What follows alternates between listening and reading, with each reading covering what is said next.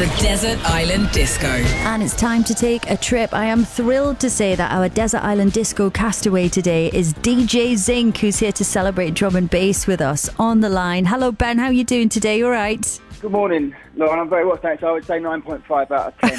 Oh, I yes. Use a number-based system to measure my well-being. That's about right. Yeah, that sounds all right. It's a good metric, as good a metric as any. Um, Yeah. But thank you for making time to sit, talk to us on this very busy day. You've got a new single, Conditioning, which is out today on Bingo Bass from a new compilation that you've done, right?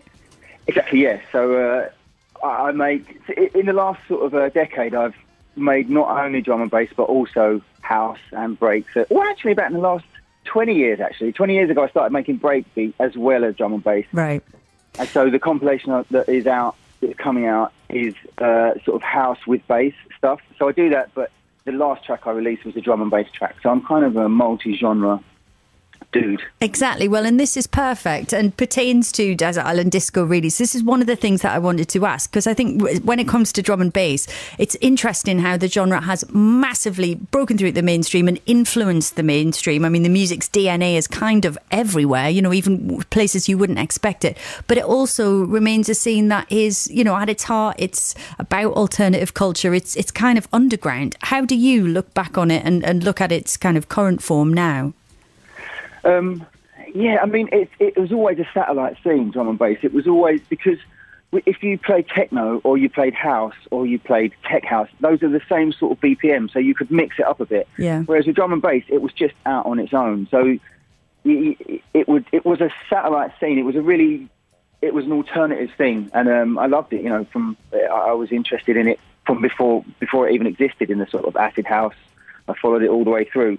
Um, so I think that, I guess it was inevitable that it would become part of the um, the the kind of mixture of what is in pop music, just because people are so used to it. Yeah. Um, but in the old days, it would there would be a jungle or drum and bass mix of a track, but it would be like an oddity. It wouldn't be the the main uh, track wouldn't be real drum and bass. Whereas now there's some like authentic drum and bass, you know, that, that is played in daytime radio.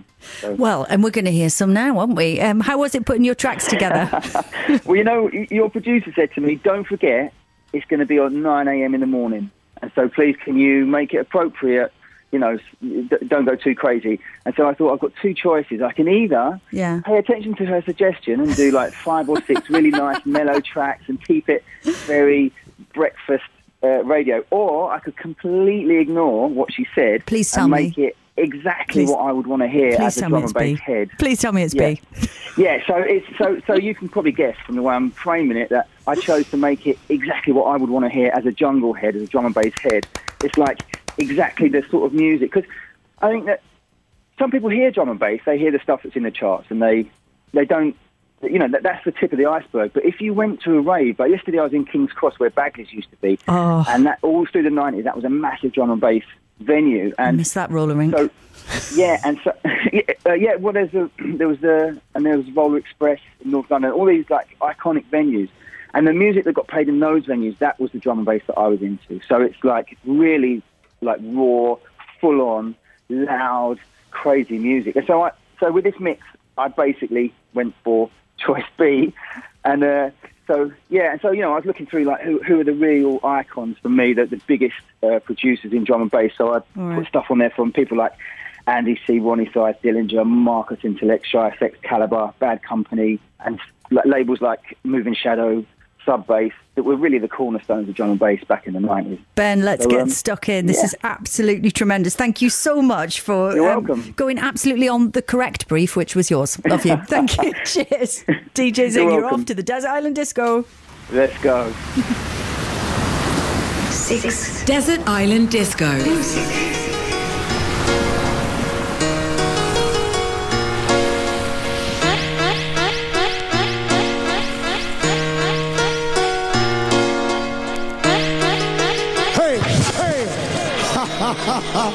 oh my gosh! The intro of the zing rinsing out the place. Sing come cross. On fire tonight. As the wheel come again, reaching out to the massive and never catch it the first time.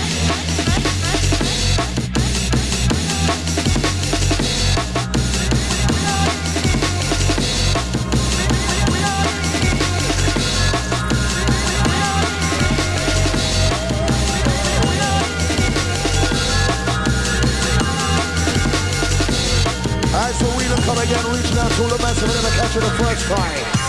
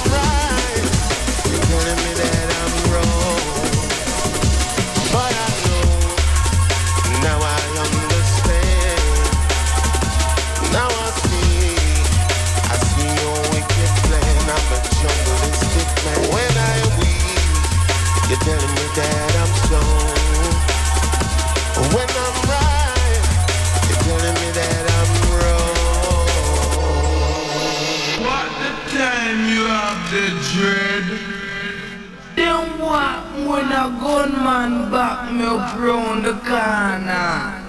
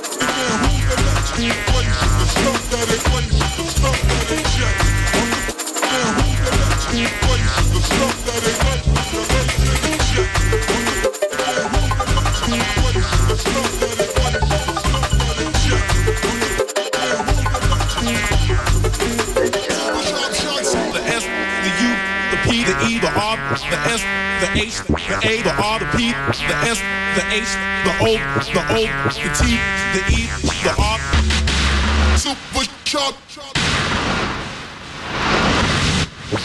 Chunks, chunks, super chop, chop, chop, chop, chop, chop. Super sharp shooter, shooting super, super, super sharp shots.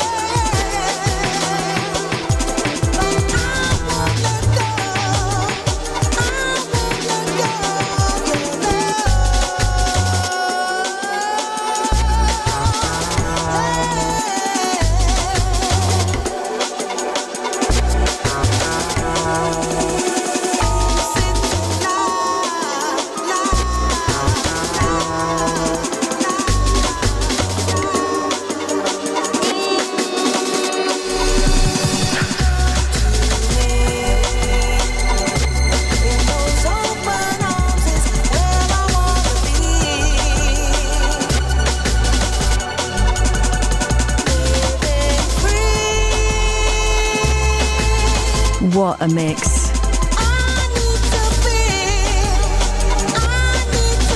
DJ Zinc's drum and bass Desert Island Disco.